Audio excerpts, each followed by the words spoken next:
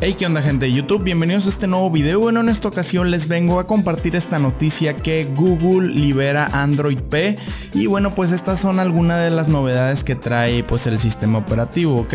Algunas de las novedades que trae Android P pues viene siendo que incluye soporte para protocolo Wi-Fi 802.11mc, lo cual permite que el dispositivo eh, pues calcule la distancia del teléfono al punto Wi-Fi y de esta forma pues vamos a poder conocer nuestra posición dentro de algún edificio. Esta situación se ha aprovechado para mejorar la navegación dentro de interiores en Google Maps, ¿ok?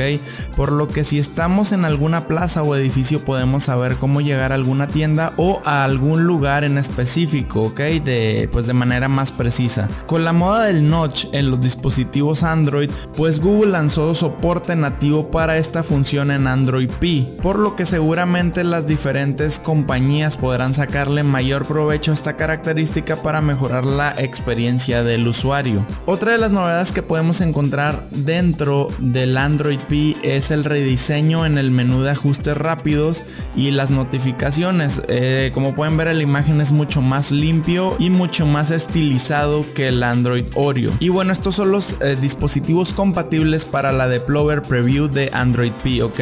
Debido a que los Nexus han concluido con su periodo de soporte de actualizaciones de software, ahora únicamente los dueños de un Pixel podrán descargar la primera versión de prueba de Android P. Los dispositivos compatibles son el Pixel, el Pixel XL, el Pixel 2 y el Pixel 2 XL, ¿ok?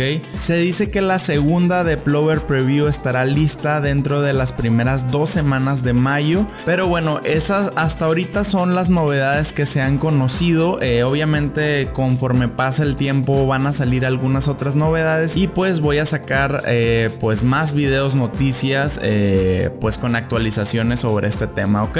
Entonces eso sería todo gente, me despido, yo soy Ferran93 y nos vemos hasta un nuevo video. Bye gente.